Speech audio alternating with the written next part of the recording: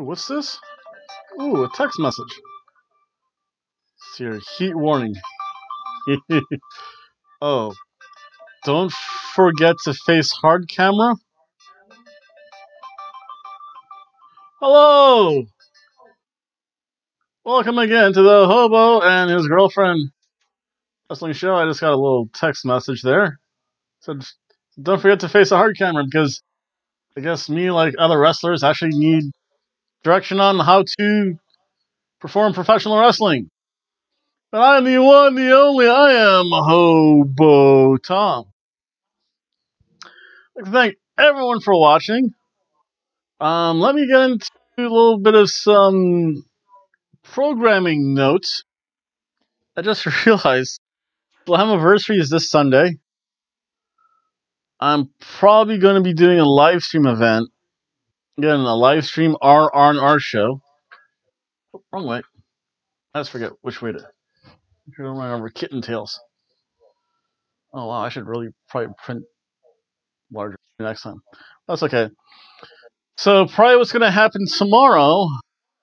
I have a lot to do. Tomorrow I'm going to be making my predictions. We're going to have a special guest. We're going to have the one, the only Dr. Tom here. He's going to do a very special predict- predictions, as he likes to say, first anniversary, because I actually wrote down the card. I think they're going to have one more. So again, I have my notes all over the place. Those will go in notebook eventually. Or be just sticky note there. That's okay. I can do that when I come home and after the video process. So Wednesday is going to be a predictions video for Slammiversary, which is this Sunday. And then also by Thursday, because I think I'm going to be busy, somewhat busy this weekend, I have the Daytona Beach Bum Fight League card all set. So there's going to be another video about that. Um, unfortunately, I am working Friday night. I'm working all day Friday. I don't know when I get off of work. If I can, and trust me, if I can, I will. I might not be able to do an my weekly Impact R R and R show. Making money takes precedence until I get monetized. And I think I only work there, work at this one place like a couple times a month. Not too bad. Saturday work, but then and then I don't know about Sunday. I signed up to work Sunday. Well, to see what the boss, what the bosses say, or or what, however that goes. Um, that's a little bit about what's going on this week. The next week, again, starting Sunday, is going to be uh, Slammiversary, Raw, SmackDown, Impact, and then another R and R show for WWE Extreme Rules. And I'll see if I can get a little something for that. And then, so it'll be Extreme Rules Sunday, Raw Monday, SmackDown Tuesday, Impact Friday. Then Sunday. Oh, that's right. I have to think about what I'm going to do for that. 8 o'clock. I'll figure something out later. I just might take spa day. That's right. Spa day time. Spa week time. Um, that's Sunday the 21st. I'm probably heading off to Orlando because I'm going to go see a WWE house show. I think that's the one thing I haven't seen yet. It's a WWE house show. I've been to pay per view. I've obviously been to. I've been to WrestleMania twice. I've never been to a house show. I had to miss the one here in Daytona Beach because of stupid boss or a scheduling conflict my previous job. And then, ooh, I don't know what I'm going to do. Why can't I just go early? Yeah, so I'll still have Raw, SmackDown, and then it becomes somewhat normal. Oh no, because then yeah, somewhat normal. Because I know August third, I'm having my Triple Mania party. I'm gonna have party with some Frito burritos. Making those again. Again, if you want to see how I make my own Frito burritos, that's on a previous video somewhere. Less that's enough about silly programming stuff. Spent way too much time. Um, let's talk about some. Oh, did I? Oh, some SmackDown. This is weird because the first time in a while, SmackDown was actually not as good as Raw. I'll qualify that by saying the wrestling matches were still they were good. There was nothing spectacular. Way too long of an intro to the show.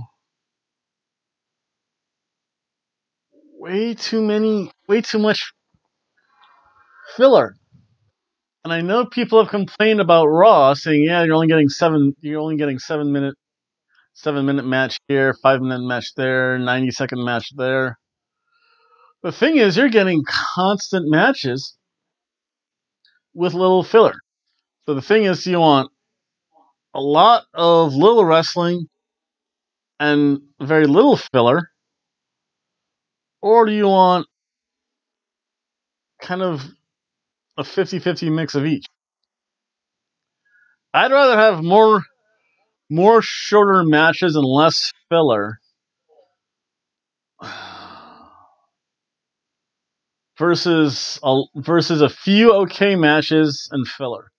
The matches, they again, they were good, and, and I'll get into that. So we start off SmackDown. First of all, I'm here chanting at home. I want pyro. I want pyro. I will give a shout out to Twisted Pixie. So this Jordan got back goes out to you. Oh my god, Becky, look at her butt. I like big butts and I cannot lie.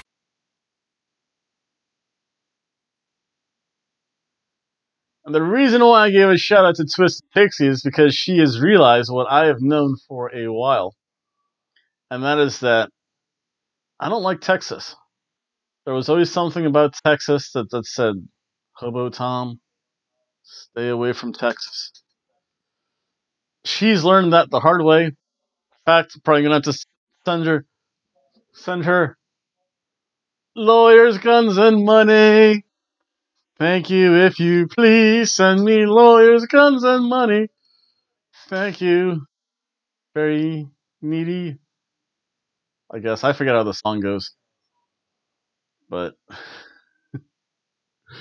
yeah, I, I'm not feeling that creative enough to find it on Final Wave file because that takes too freaking long. It's been a long day, even though I took I think two little naps. Because again, I had to go see lawyers today. Lawyers. I couldn't even get all my questions asked. So I'm like, wait, are we being charged for all this? No, I'll save my silly questions for later. It starts off um, with a Braun Strowman. Well, SmackDown. Let me get back to SmackDown. Even though we want Pyro. Um, it starts off with a Braun Strowman, Bobby Lashley recap. Eh, it's okay. Again, I don't like SmackDown being recap. It really wasn't recap heavy, which I guess is good. But just a lot of filler that didn't need to be there. So it'll be interesting to see what happens on the Go Home show next week, or yeah, next Tuesday. Oh wow, that's right. I have to go to Walmart because I have to get my stuff ready for Fourth of July because I think Fourth of July I'm gonna have all American cheesesteaks, and then I'm just gonna have simple bacon, egg, and cheese sandwiches with tater tots and then for extreme rules, I'll have my sausage gravy and eggs and biscuits. Ooh, sausage gravy, eggs, and biscuits. That's pretty cool. I have to. I don't feel like having a big cheesesteak though. I'd rather have two smaller ones with steak them. But I'll figure that out later. So we get to the Kevin Owens show. And he looks confused. Um, it was a very lackluster performance by Kevin Owens. Either that's the direction, or or he's just like, it's time to mail this in. So he called. He, brings out Shane McMahon and Drew McIntyre. Um, Shane, of course, demands a better entrance. It was just like, yeah, whatever. Think Kevin Owens realized what what Heyman did. Uh, uh, Paul Paul Heyman did on Raw, and it's like, why am I here? Um, again, the wrestling wasn't bad. All the filler stuff for SmackDown was. Hmm. Whereas on Raw, the filler was amazing. I thought there were some good bits. There were some bits so bad. It's, whoa, that's just terrible. At least it elicited a reaction from the fans and from the television audience, such as Hobo Tom. Uh, so then the Dolph comes out and Kevin Owens starts to, oh, it should be you, it should be you. I don't know. That was just Kevin Owens was reading cards and he's just like, yeah, whatever. Uh, Daniel Bryan, the heel, they have him backstage. He's the heel who talks the truth. Again, he he did teach doing some Daniel Bryan math. I wonder if that would be the same as wrestling math or even complex form of math. Steiner equations. Dr. Tom will explain more about that later. But again, he's the heel who, who makes sense. Then we have a New Day promo. That was okay. Oh, and by the way, hi Silva. Yes, I saw your sign there. I have no idea who you are, but I figure I'll say hi to you anyway.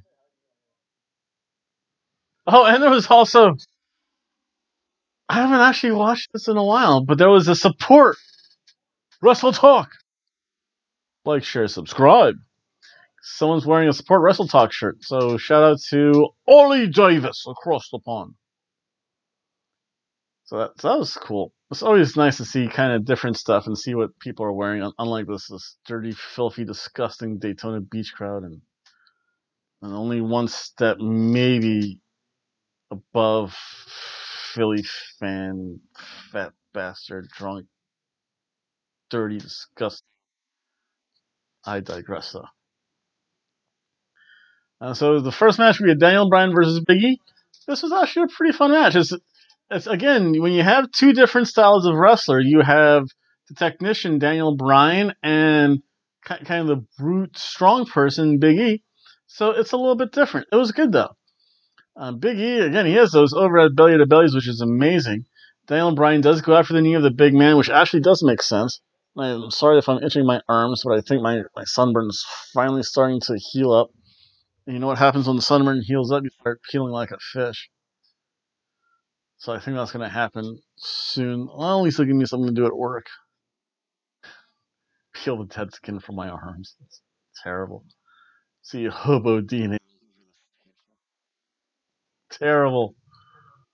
Uh, that's neither here nor there, though. And then friend, he goes after the, the uh, surgically repaired knees of Biggie. I'm actually kind of confused. I wonder why Biggie isn't wearing a knee brace. A lot of wrestlers do wear that knee brace for a little extra protection. I mean, Biggie could wear a knee pad. I think even when I had my my knee issues, when I destroyed my knee as an amateur wrestler in high school, I tore the I tore the medial collateral ligament, uh, bruised the bone, and damaged the medial menis. Um, is it the? I forget what that cartilage. I know I damaged the cartilage. Medial collateral ligament. Hmm. I guess it's the medial meniscus. Oh, medial meniscus. That's right. And so I damaged that. And I'll tell you what, for about, I was on an immobilizer for one month. I'm sorry, not one month, but one week I was on a knee immobilizer. I spent another seven weeks. Yeah, seven weeks and a uniplanar brace, which just allows one range of motion, literally back and forth. The tear wasn't bad, it didn't necessitate surgery. Then I think for another almost three to four months, whenever I went to the gym or did anything, I always wore a knee brace just in case. Because I know I think like literally like week seven, like with two days to go before my knee brace was done and over with. I'm like, let me test this knee out, and I did one thing, and I'm like,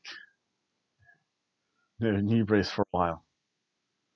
Um, so hey, if he's fine, he's fine. I only have my doctorate in education, although I do have my master's in biology. Anyone looking for a biology science teacher? Hobo Tom's your man. Actually, I'm hoping to hear back from the one teaching position. I hope. And I to hear back from hate dealing with the United States postal system. That reminds me, I have to apply for another job too at that school. So much stuff that I have to do before I can actually go to. Wow. But again, this was a fun match. Um, eventually, Rowan, the referee gets distracted. Biggie winds up outside. He crushes Biggie into the ring post, throws him back in. Xavier Woods tried to take out Rowan. Not happening. Rowan's way too big. So Daniel Bryan wins after hitting the knee plus in the middle of the ring. Pins Big E for the one, two, three. No referee shenanigans for a change. This was a good cheeseburger match.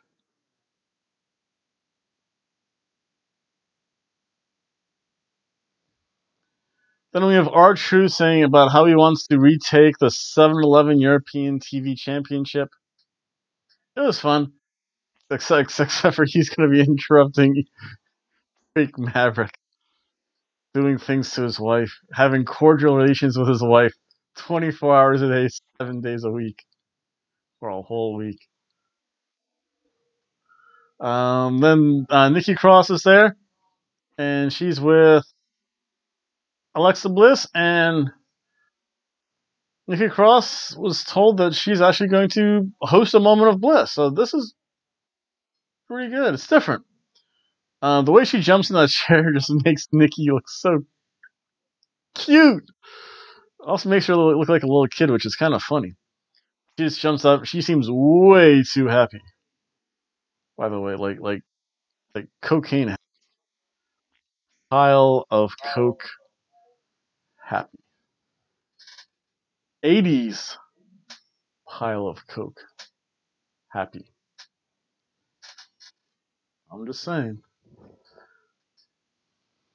Although, probably not on it, but you never know. She was way too happy there. Um, so she she interviewed uh, her guest is Bayley, and and Bayley is terrible. Uh, that belt looks huge on Bale on Bayley. I just be I guess because it she normally wears it lower, but when it sits on her waist, because she's, I always thought she was really skinny and lanky. Like it it covers up her whole midsection and like starts to cover up her her her breast too. So literally goes from can't do it here, but from like here to here on her, which on me would be freaking huge. Well, yeah, I, I don't know, still pretty big. Or she's that small. Or I don't know. Bayley never did it for me.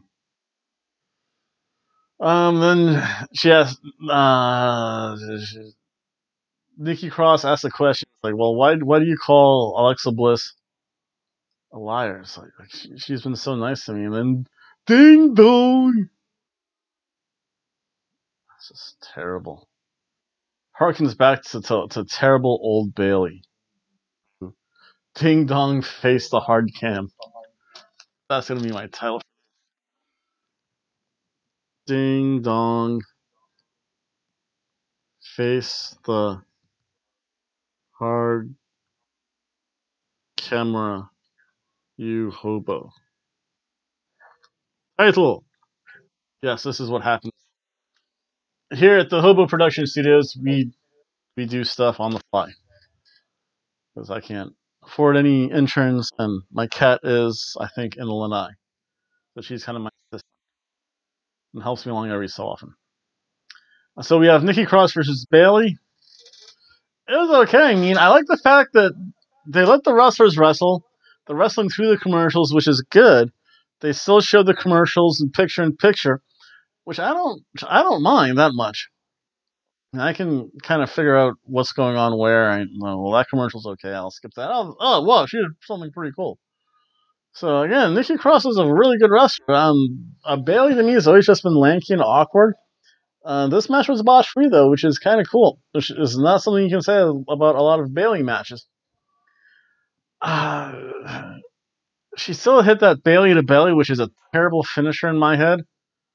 Only because you see people do multiple belly to belly suplexes that look that have a lot more stank. Just like Big E's overhead belly to belly, that looks amazing. But the Bail the Bayley to belly, yeah.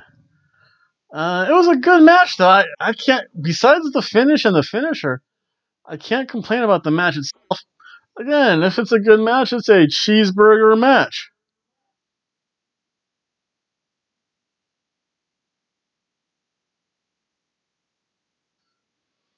Then we had Muhammad, Al, uh, Muhammad Ali, Mustafa Ali promo. Again, I don't know if he's going to be Vigilante Ali or what, so so we'll see what happens there.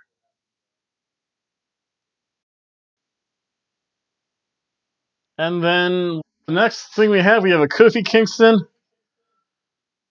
and Samoa Joe kind of interview.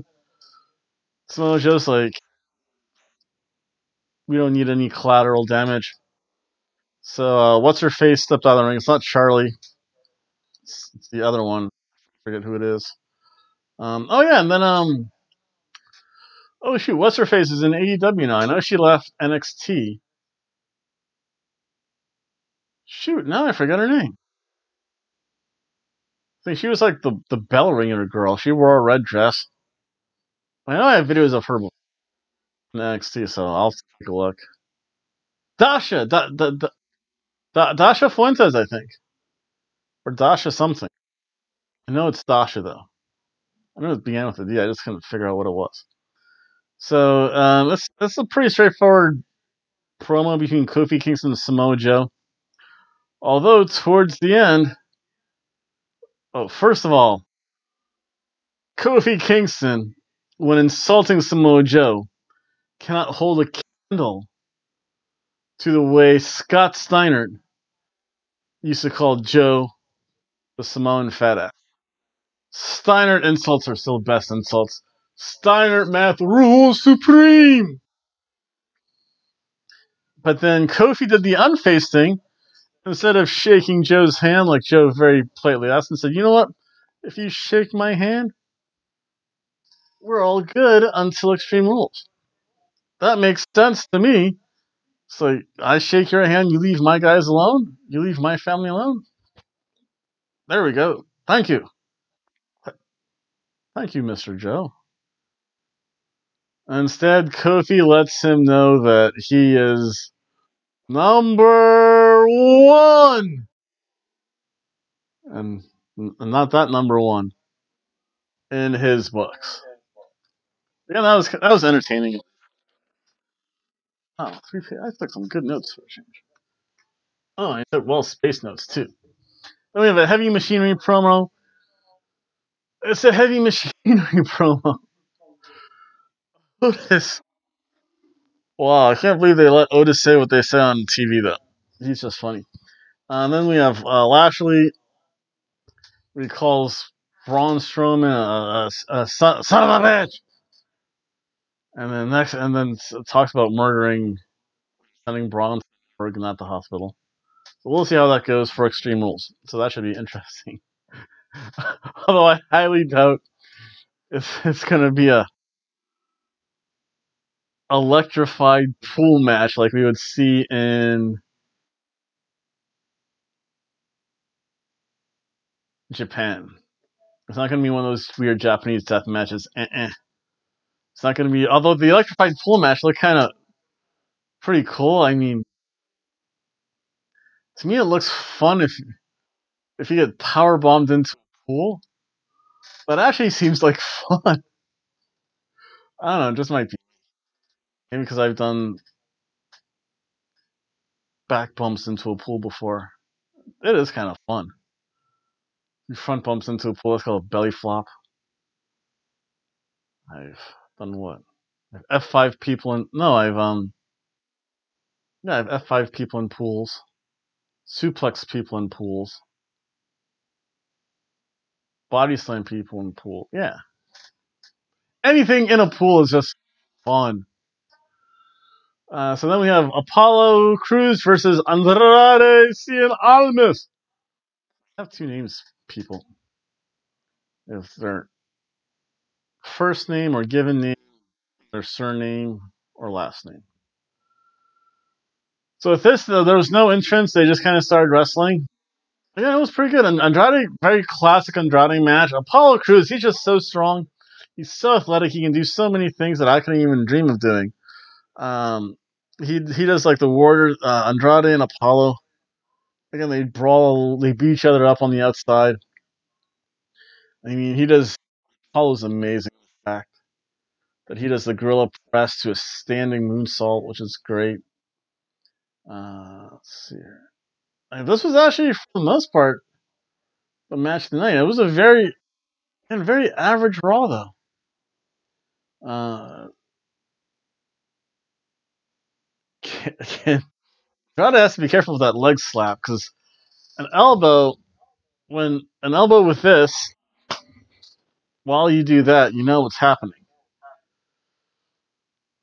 It's not bad. That was the only thing. Um, then Zelina Vega hit a Hurricanrana, which sent Apollo Crews into the table.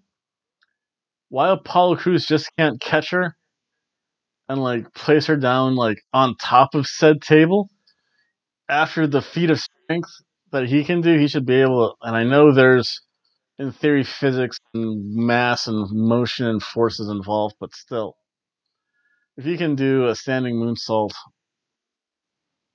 little Zelina Vega, who weighs all of 85 pounds and stands four foot six. That should, that should be like. Um, that was a fun match, though. Andrade Cien Almas went over again due to the interference. He does hit the hammerlock DDT after after Apollo's kind of out of it because he got sent headfirst into the table by Zelina Vega this was actually pretty good. I mean, if it wasn't for like a, like a spot, probably the leg slap, the ob the obvious leg slap, and Zelina Vega's interference, it would have been better. But still, overall, this was a good, fine cheeseburger match.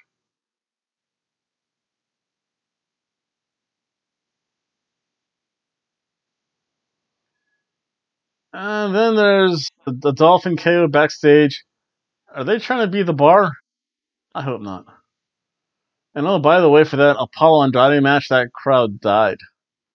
I mean, they were all checking their cell phones. They, they, they were all, they were all like, I would like, I would like to see.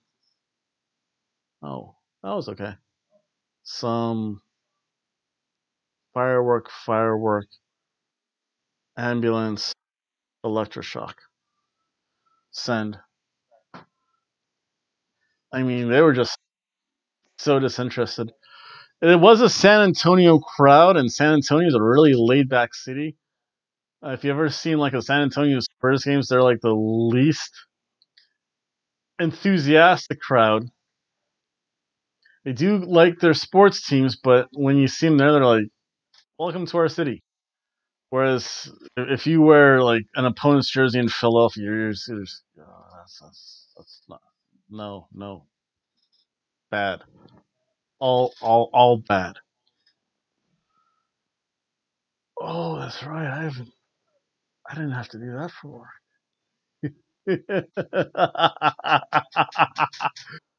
one, one day I'll, I'll let everyone in, into my little secret about the secret wager I had at work.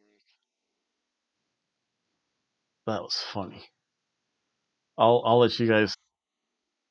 Well, well I'll tell it now because I have plenty of time. Where I used to work, we had to get people's emails addresses for, for stuff. And not to give out the whole email address, but it was um Tracy's facials at blank blank dot blank. To be a grown woman wearing what she was wearing, you do not want your name and then facial in your email address. Just go Google it. You'll see pictures that that will blow your mind. And probably legitimate business every so often, but still. So the bet at work was if you rang her up and she gave you her email address, I would get you a candy bar, which I actually had to do for for, for, for one for once. If you got a more interesting email address, and there are a couple different combinations of, of letters and names that I can't even mention on YouTube because I'd be kicked off. Um, I would just say all the chocolate for you. If you manage to get her business card and appointment, it would be all the chocolate and a bottle of bourbon. And you would be declared the man, and I would have to say, I'm not worthy. I'm not worthy. So that was kind of funny. Again, stay classy out there, Daytona Beach. Bumtona Beach. Boo, Bumtona Beach. And then we have uh, Dolphin KO again, trying to be the bar. Yeah. That was Magic Bottle. And I think Mick Foley kind of did that a lot too. Then we have Aleister Black. He's going to have a match at Extreme Rules. I don't know who it'll be. I hope it's either Shelton Benjamin, who is acting creepy, Bray Wyatt, or it could be Matt or Jeff Hardy, too. In the Woken Universe, yes! So I don't know, you started to talk about like the seven hells, and of course, Matt Hardy's reference to the, the nine deities. Yes! And I know I haven't watched it. I haven't watched it close enough, but I, I wonder if there was any um, puppets out there. So know Mercy the Buzzard was in the background with the Miz on Raw. I don't think I saw any other puppets unless I missed during the Ember Moon walk to the gorilla position area. I don't know. So then we get to our next match. We have Ember Moon versus Mandy Rose. Oh, I was shocked. Mandy Rose can wrestle. Mandy Rose has a booty too. Although her, her boobies got smaller though. They got like smushed or something. Or either or either that or, or the black is just has a slimming effect. She used to wear like all gold Mandy Rose. That was awesome. Um so yeah, I, she Mandy Rose has, has improved in leaps and bounds since her days in NXT. She was okay. I saw her wrestle a few times. Uh, the one thing she she does, yeah. Mandy actually, oh, that's right. Mandy did get a lot more vicious, a lot more aggressive, which is good. Um, the that that stacked pin though. Oh, that that um, yeah, that uh, oh wow. I don't know what to say about that stack pin she does though.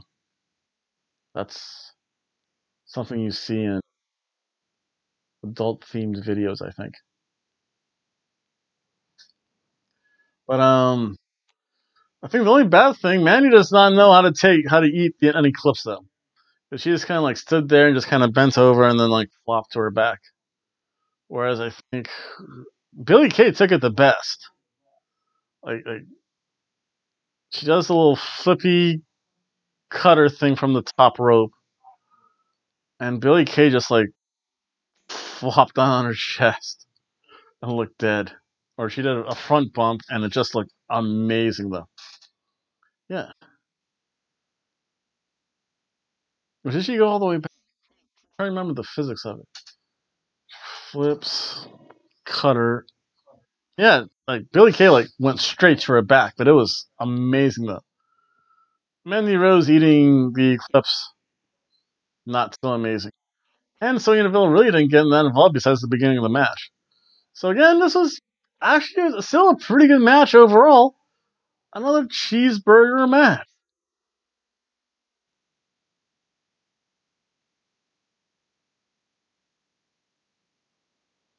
Then Shelton Benjamin, like, did he realize that he was being interviewed? Because he was just like laughing. So maybe it's going to be Shelton Benjamin versus Aleister Black. Who knows? And the next thing I'd like to say is that there's a macho man in every arena. Oh, yeah. You can find me in Daytona Beach. Yeah. Can find me in San Antonio, Texas.